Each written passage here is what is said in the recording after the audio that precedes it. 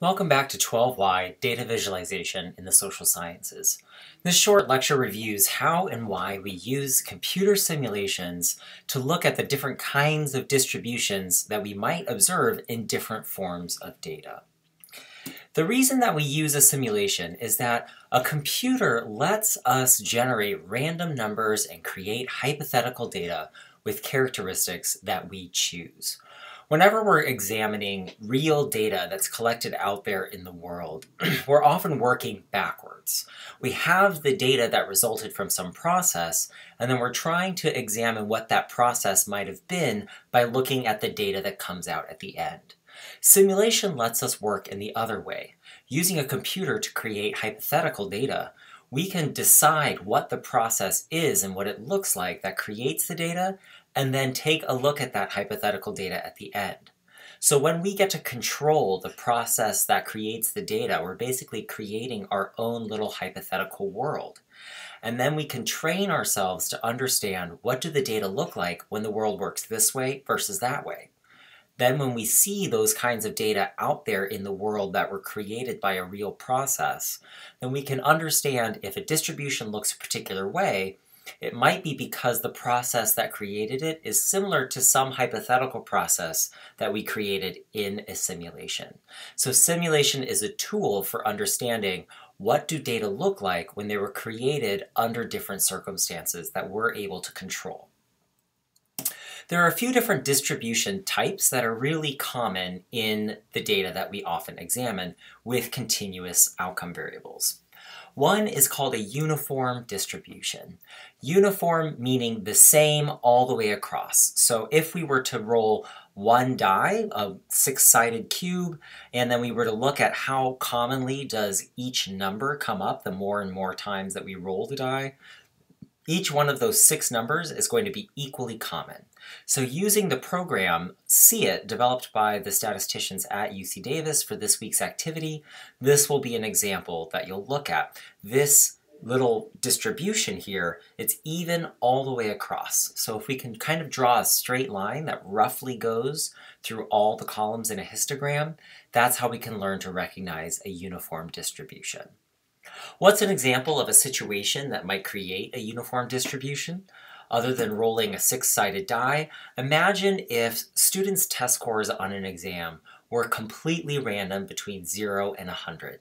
So if we're looking at this histogram, which summarizes the distribution of students' test scores in a hypothetical class, the heights of each of these columns tells us the number of students that got a score in those bins that are 10 points wide. And we can roughly draw a straight line through all of the bins. Some are a little taller, some are a little shorter. That's how it works when you've got random numbers. But in general, the distribution of scores is equal all the way across. So some students do really well, getting above a 90, some students do really poorly, getting below a 10, and the most probable scores are just evenly distributed, so every score is equally probable, and the average score for a uniform distribution would be right in the middle. So if I were to see a distribution of test scores for a class that looked like this, it would be my cue that students are equally likely to do really well as they are to do really poorly. And so something's not going right in my class if students are just as likely to get an A as they are to get an F. So a uniform distribution means that there's equal probability all the way across, across all the different values. Another common distribution that we see is called the normal distribution. It's so common that we actually call it the normal distribution. And normal is a bell-shaped curve, so it kind of goes like this, like a bell-shaped would if you were to imagine the shape of a bell. And it's got a peak right there in the middle. In the example for this week's Try It, you'll simulate what a normal distribution looks like by rolling two dice. So you're rolling one six-sided die and you're rolling another one and then you're adding the numbers together. So the smallest value you can get is a 1 and a 1 added together is 2. The largest value you can get is a 6 and a 6 added together, which equals 12. The most common possible combination is a 7. So you can roll a 1 and a 6, a 2 and a 5, a 3 and a 4, and then the reverse for each one of those. So there are a lot of different combinations that can result in a 7. That's why 7 is the most probable outcome when you're rolling two dice. And a normal distribution is something that we see come up a lot in nature, like it's people's heights or if it's distances um, that kind of fruits or seeds travel from a tree. And in a normal distribution, a situation that might create it is that there's a most typical or probable value for our continuous outcome variable, and then at random, sometimes the values are a little higher or a little lower, but it's pretty improbable that people get really far from that middle value. If I'm looking at an example in the test scores example, and I'm simulating what would a normal distribution of test scores look like, this histogram would look like this. So in this particular example, the average score, it's always right in the middle of a normal distribution. So the average score is somewhere around an 83 in this distribution. Most of the scores are a little bit above or below the average, so the majority of the students in this hypothetical example all got right there in the B range between an 80 and a 90. And then there's a little bit less probability of students getting above or below something like a 90 or something well below the low 70s, mid to low 70s. So the typical student is right there in the middle of the distribution. Most of the scores are kind of close to it, a little above or a little below. And then there are just a handful of scores that are well above or well below the average, but they tend to clump together. And if I see a normal distribution like this, what it tells me is that the students, on average, are getting most of the material right. They're getting somewhere in that B range. Some students get a little bit higher, some students get a little bit lower. Another distribution that you might see in the real world is called a bimodal distribution. Remember that a mode is a most common value. So we would refer to a bimodal distribution as having two modes or two humps in the data. And in the example for this week, for the try it in the lab quiz data, what you'll examine are data on political attitudes based on whether somebody's in the Democratic or Republican political parties. And the Democratic and Republican parties tend to think very differently from each other. So all of the political attitudes measured on some scale might be on one end for Democrats and it might be on the opposite end for Republicans. That's what we call polarization. Polarized means that everything is far from the center. And if we see a distribution that looks like this, it kind of looks like it's two different normal distributions, where one of them is on the low end and one of them is on the high end. And if we have two different distributions that look like this, that's our cue that maybe there are two groups in the data, that there's some predictor variable that separates people into one group versus another, and that's why we've got one distribution on one side and one distribution on the other side. And when we've got a bimodal distribution, our measures for central tendency can be a little wonky. So if you take a look at this example from See It, this is something that you'll produce for the try it and lab quiz data for this week. The mean and the median, which are measures for what is the middle or typical value in a distribution for a continuous variable, those two values are in between one group and the other in this bimodal distribution. So if we see a bimodal distribution, we should think two things. One is that the average values are going to be between the groups instead of in the middle of either group, often. And the other thing we should think is that there's probably some predictor variable that separates one group from the other. In the test score example, what if I simulated a world where half the students in the class um, got the material and the other half really struggled? And if we were to imagine an example, what if in lecture I were to give the answers to some quiz questions. And then the students that were in lecture got those answers, the students that weren't in lecture didn't get the answers. That could create two different groups that result in a bimodal distribution of test scores, where we've got one normal distribution where the most typical score is somewhere around an A, it's somewhere in the 90s. And the other distribution looks like a normal distribution where the most typical score is somewhere in the high 60s, somewhere around a D. The hidden predictor variable would be who came to class and got the answers that I gave to those questions. and the average or the median for the overall distribution of test scores would be somewhere right in between that group that got the answers and the group that didn't. It could be somewhere around a B. But that average or median score doesn't actually represent that many students. It just splits the difference between the group that got the answers and the group that didn't.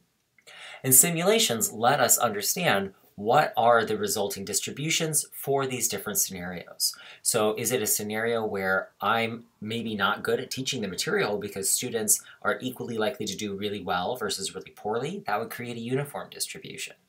Is it the scenario where most of the students really do pretty okay on the material and some do a little bit better, some do a little bit lower on the average scores? That would be a normal distribution. Is it a scenario where half of the class seems to be getting some information or material that the other half of the class doesn't? That would create a bimodal distribution. And then when I'm giving exams and I see what the distribution looks like at the end, I can examine the distribution of actual test scores and compare it against the resulting simulated distributions to understand which one of these three scenarios seems to match the outcome for the class most closely. And that's training me to understand what's going on in the classroom and how can I understand what's driving the resulting test scores that I see. The last thing that you'll use simulations to understand for the uh, try it and lab quiz exercises for this week is trying to understand sampling error. And this is something that we discussed at the end of lecture on last Monday. Sampling error is the idea that when any time we take a random sample from a population, we're hopefully getting a nice representative picture of what's going on for that whole population. But because we've taken people at random for our samples, sometimes we're going to include a different shuffle of people, which means that the average value for whatever variable we're measuring will sometimes be a little higher and it will sometimes be a little lower, purely due to random chance. And if I were to take one random sample after another after another from the same population, and all of them have the same sample size, then every time I do that, my sample might have a slightly different average or a slightly different proportion. And what simulations let me do is understand whether or not I can predict how much that random fluctuation might happen. So if I were to take 25 random samples from a population, how much will those average values from those 25 samples be off from one another? And if they're not off by very much, that's really reassuring to me as a researcher because it means that if I were to take another random sample and look at that data again relative to the data that I'm already examining, then hopefully my answers will be pretty consistent that come from those data. And so I can do that same thing, just like I simulated a um, distribution of test scores for a single classroom, I could do that over and over and over again for 20 different classrooms. And I can treat, treat those 20 different classrooms just like there were 20 random samples of 25 students each. What I can do is simulate one class and calculate the average score. Simulate another class, calculate the average score, and do that again and again 20 times.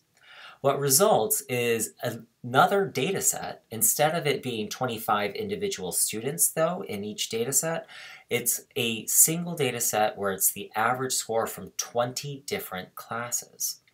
And the thing to notice is that when I look at this distribution of 20 different averages from 20 different classes, it kind of looks like a normal distribution. It's kind of symmetric. The most typical value represented by the peak of that distribution is right there in the middle, and it looks kind of symmetric. And also, most of the average scores are pretty close to one another. If you take a look at the x-axis, which shows the values for the average test scores from each of the different classes, then the range is not nearly as big as it was for an entire classroom of students. So for a classroom of students, you might see the scores ranging from the 60s up to the 90s. But when I look at this distribution of 20 averages from 20 different classes, the distribution's pretty small. It's only going, um, the bins start at 80 up to ending at 86. And most of those scores are right there off just by a couple of points from each other. So when I use simulations to take a bunch of different random samples and compare the averages from all of those different random samples, the thing I notice is that from one random sample to the next, the averages are a little different from each other due to that random shuffling of students, but the averages are not so different. They're not as different from each other as the individual students were from each other. And so simulations also give me that advantage of being able to understand how consistent would I expect my random samples to look from one to the next to the next without actually having to go through all of the time and effort and expense of collecting data from 20 different random samples. Instead, I can use a simulation and I can predict how consistent will my information be if I were to take different random samples of the same population.